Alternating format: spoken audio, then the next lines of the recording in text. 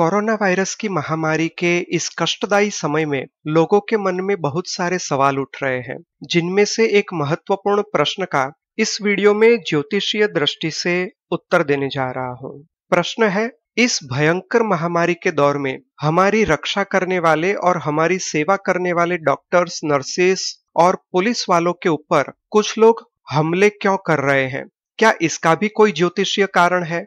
इसको कैसे रोका जाए? इस प्रश्न का उत्तर देने के लिए अपने स्वतंत्र भारत देश की जन्म कुंडली और वर्तमान समय की गोचर कुंडली यहाँ आपके समक्ष प्रस्तुत कर रहा हूँ।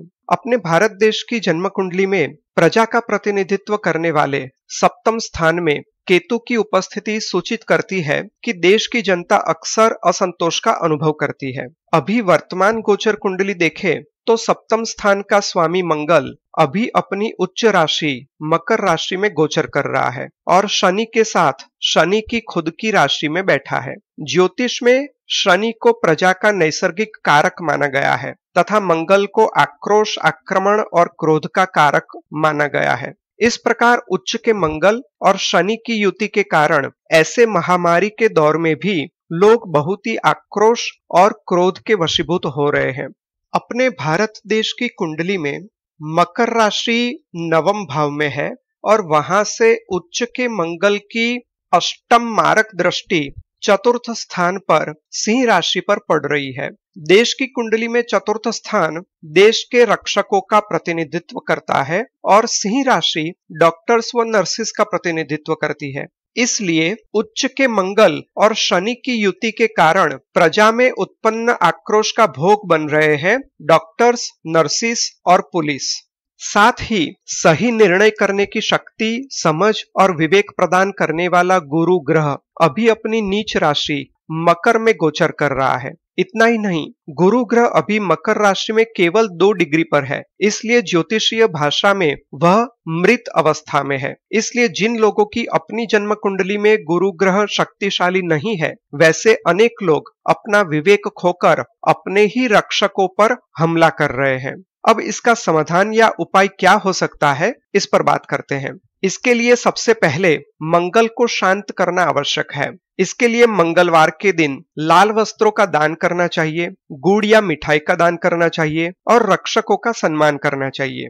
ध्यान रहे, इसके लिए हमें घर से बाहर नहीं निकलना है। लॉकडाउन के सरकारी नियमों का संपूर्ण पालन करना है। हम सबको अपने घर में ही बैठकर विशेष मंगलवार और शनिवार के दिन अपने देश के सिपाहियों और पुलिस कर्मियों के गुणगान करने वाले गीत सुनने चाहिए या गाने चाहिए और अपने विस्तार के कुछ गिने चुने प्रतिनिधियों के द्वारा पुलिस कर्मियों को लाल वस्त्र और मिठाई का दान करना चाहिए तथा उनका सम्मान करना चाहिए। मंगल ग्रह तीन मई तक मकर राशि में रहेगा।